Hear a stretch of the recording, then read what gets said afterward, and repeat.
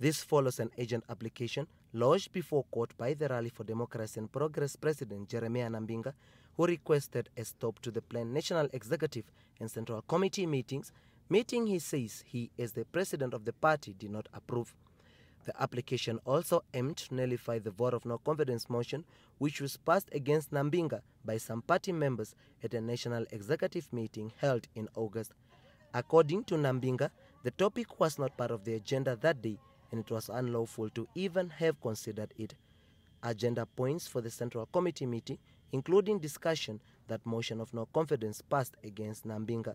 Judge Shafimana Ueitele said, by law, when an agenda is adopted, no further topic can be discussed at that meeting, making the vote of no confidence at the August meeting unlawful.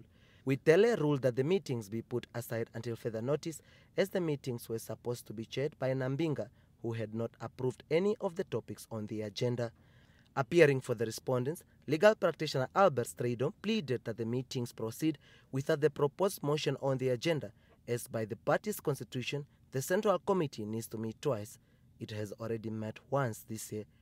Appearing for the applicant in the matter, Advocate Gerson Narib said there was no way the meetings could take place with Nambinga SJ despite him knowing nothing about the agenda. Advocate Narib charged that Nambinga has received unfair treatment from some party members of late, depriving him his powers as the party's president.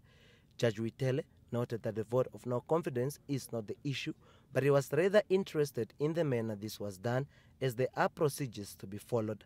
After the court adjourned for about an hour, the judge issued an interim order in his ruling, putting a stop to the planned meetings with a request for the matter to be heard before court on December 8th for further arguments.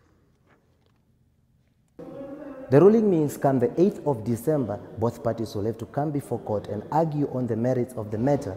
Upon completion of that, the judge will then decide as to whether to confirm or discharge the interim order. That will then determine the future of the Central Committee meeting of the party. Reporting for NBC News, Saloma Tenga, Windhoek.